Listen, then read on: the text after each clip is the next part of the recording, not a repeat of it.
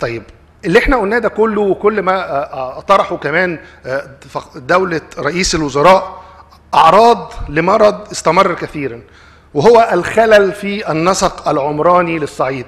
نقصد إيه بالخلل في النسق العمراني في الصعيد؟ إحنا نسبة الحضر في مصر بتتجاوز ال 45% وال 55% ريف. ال- البرنامج الإنمائي للأمم المتحدة للمستوطنات البشرية في آخر تقرير لما كان بيتكلم على الهدف رقم 11 الخاص بالتنمية المستدامة أشار إن 50% من سكان العالم بيعيشوا في الحضر. وإن على عام آه، 2030 60% من سكان العالم هيكونوا بيسكنوا في الحضر. ال- الحضر والمدن هو قوة النمو الاقتصادي اللي بتحرك ال ال الاقتصاديات. أكثر من 65% من الناتج الإجمالي العالمي بيعذى للحضر والمدن. لما نيجي نلاقي بقى أن نسبة الحضر في صعيد مصر لا يتجاوز ال 25% وال 75% بيسكنوا في المناطق ال- الريفية. ده بيقول لنا ليه هذه المناطق عندها قضايا رئيسية في الفقر والبطالة؟ ولما نيجي نحط خطط التنمية عشان نحل مشاكل الصعيد لازم يكون الإصحاح هذا الخلل أحد الأهداف الرئيسية. أشار دولة رئيس الوزراء إلى الخلل الديموغرافي في التوزيع السكاني إن الصعيد بمحافظة البحر الأحمر بيمثل تلتين مساحة الجمهورية وبيعيش فيه 30% فقط من عدد السكان. ده خلل تاني. الخلل الأكبر هو الخلل في النسق العمراني. طيب ال- الخلل ده كمان صاحبه إن المدن الموجودة في آه، صعيد مصر كلها ذات آه، مقومات نمو اقتصادي ضعيفة.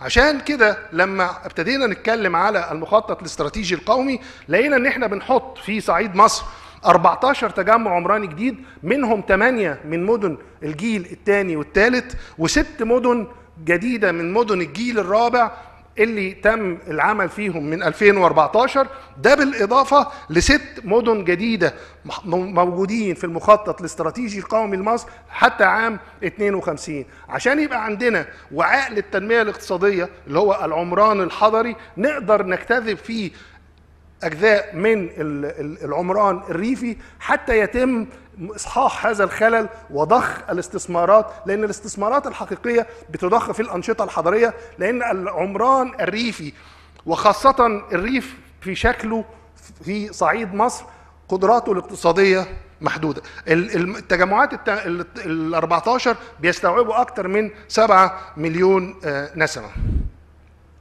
طيب وده بيقودنا لجدوى توسعة الأحوزة العمرانية. آه، هناك مطالبات كثيرة بتوسعة الأحوزة العمرانية في آه، مصر وخاصة في الصعيد سواء كان في المدن أو القرى وكمان إحنا هنلاقي المدن في صعيد مصر كلها ذات صبغة قروية.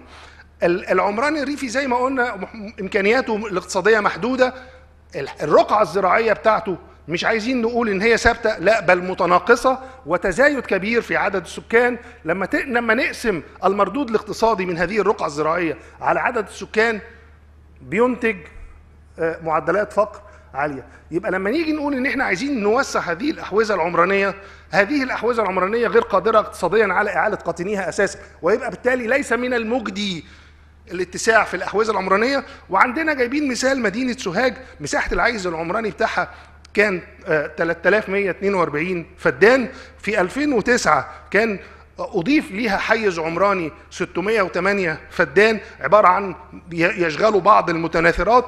عايزين نقول لحضراتكم إن إحنا في 2020 وصلنا إن إحنا 40% فقط من الحيز المضاف. ده اللي تم البناء فيه. في حين تم البناء خارج هذا الحيز المضاف ب 120 فدان.